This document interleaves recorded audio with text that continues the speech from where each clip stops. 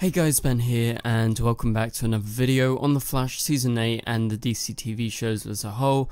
Today we're going to be talking a bit about DC FanDome and what to expect, so if you do go on to enjoy the video, please be sure to leave a like and a comment, and subscribe if you're new so you don't miss any DC TV videos later this year. Okay, so DC FanDome happened last year for the first time. This was all due to the pandemic.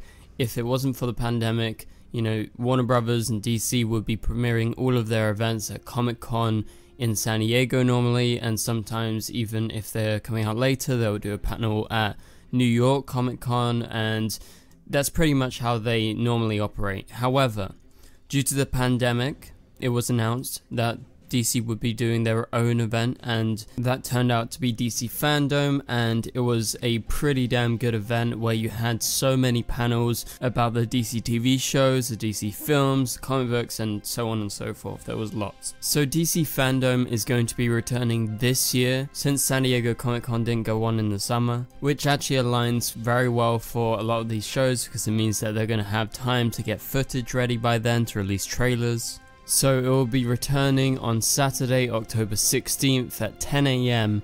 Pacific Standard Time. And so this is going to be exclusively on DC FanDome's website. And it's not going to happen like last year in two segments, it's going to be all on that one day, unless there is some sort of late announcement. However, we are nearly a month away from DC FanDome, so I doubt that they're going to make any major changes as right now.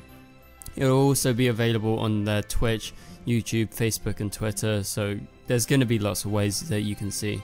So apparently at this event, as always, like last year, Warner Brothers and DC will be showcasing some very highly anticipated titles with new trailers and looks at like new films like The Batman, Aquaman Lost Kingdom, Shazam Fury of the Gods, and in terms of the TV shows, you'll get new looks at seasons of Batwoman, The Flash, Superman Lois, a farewell tribute to Supergirl, and a celebration of DC's Legends of Tomorrow as they hit their 100th episode. And also, there's going to be a first look coming at the new CW show Naomi and a sneak peek at an upcoming episode of Stargirl.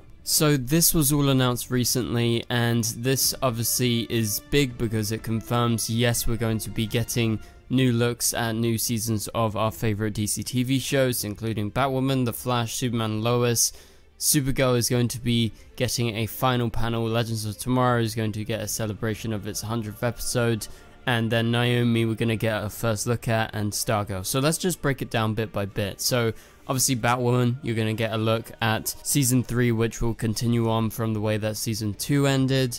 That's going to be exciting. Obviously, along with these panels, you're going to have the trailer being dropped, which they'll probably play at the start of the panel, and then They'll go on to talk about it and they'll tease some of the upcoming things that they have planned in the season. And with Stargirl, it's going to be a new look at an upcoming episode because Stargirl wouldn't have finished by the time of DC FanDome, and that goes along with Supergirl, which will probably release a new look at the upcoming episode but it will also be more of a celebration of the show because it's going to be Supergirl's final panel ever.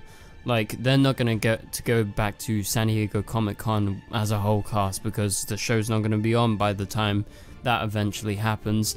And, you know, in terms of me, I feel very privileged that I was actually at the final Supergirl panel, and obviously we expected two more panels at least until Supergirl ended, but due to the pandemic, that never happened. But it's nice to see that they're at least giving them going away goodbye panel. Superman Lois would have started filming its season 2 episodes by then. I believe that they are back on set as of right now, and we're at the start of September, nearly approaching midway. So by the time of like the middle of next month, they would have at least filmed about one and maybe just like half of episode 2. So they will have footage and they will be able to cut together a trailer. See the thing is normally when they release trailers back how they used to do at San Diego Comic Con, they would be only filming for like a week and a bit and then they would fly the entire cast down to San Diego to do the panel and they would release a trailer but the trailers wouldn't be that big. They would tease stuff, but it would tease exclusively episode 1 footage. But in the case of Superman Lois, they're going to film a bit more, and I think in the case of The Flash specifically, they're going to have even more, so they can be very selective about what they show. But we'll get onto The Flash in just a minute. So that's what's going to happen. You're going to probably get a Season 2 trailer and first look at Superman Lois at DC FanDome. And we're pretty sure Superman Lois is coming out in January at the mid-season. And so in terms of Legends of Tomorrow, it's going to be a celebration of its 100th episode and I don't know if there's going to be any footage or new looks. We will have to see. I don't know the specific schedule for Legends this season because I haven't been following it. But I'm very excited about Naomi, which is going to be getting a first proper good look. We're probably expecting a trailer here. I'm looking forward to seeing that, and I'm going to break it down on the channel once it's released because I'm very much so anticipating the show. And so let's move on to The Flash. Now, Specifically, The Flash has been filming for quite a while now. The cast has been back and they've been filming the crossover episodes. We know that Cress Williams was in Vancouver shooting as Black Lightning. We've seen Brandon Routh on the set. So we're going to get a first look not only at the first episode of season 8, we're going to be getting a first look at the CW's big crossover this year. So it's very likely, and we're going to just theorize a little bit here about what we could see in that trailer, a first look at the villain of the crossover, Despero.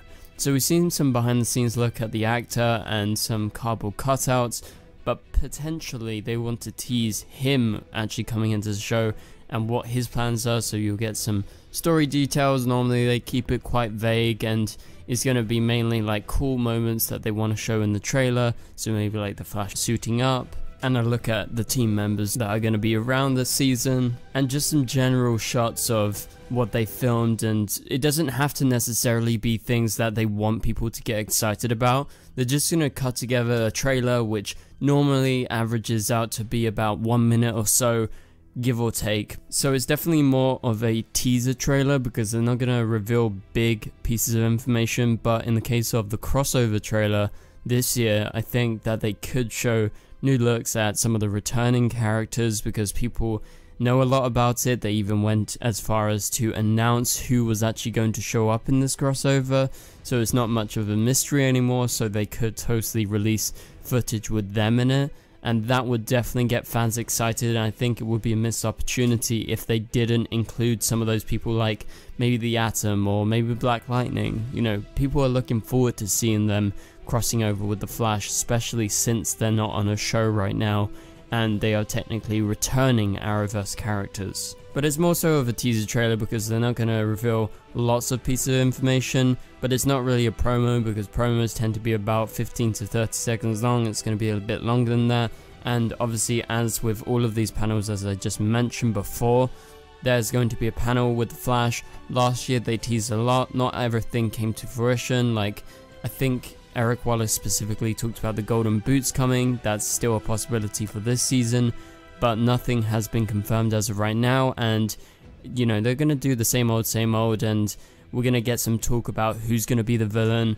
and the way that the story is aiming. Maybe some of the themes is going to be revealed by Eric Wallace and maybe how it's gonna be different how it's gonna be similar to the past season and basically anything that's coming up. So it's an exciting time and I really enjoy DC FanDome. They'll release probably some more promos and teasers to remind people DC FanDome is happening once again on Saturday, October 16th at 10 am PST, which translates to 5 pm GMT UK time. So you can translate it to whatever time zone you're from. Obviously, not all of the shows are going to be releasing their panels and the promos at the same time. They're going to be one by one, and there will be a schedule sometime soon. We don't have the schedule as right now, so I can't give you those specifics.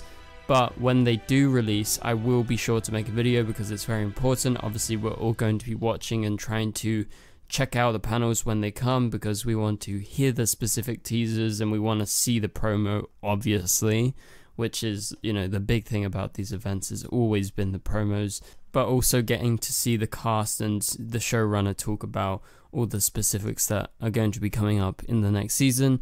But that about does it for this video guys, thank you guys so much for watching, hopefully you enjoyed the video. If you did, please be sure to leave a like and a comment, subscribe and turn on notifications if you are new to not miss any videos. You can click on the top right corner of the screen to watch my latest video, but for now, I'll catch you guys later, goodbye.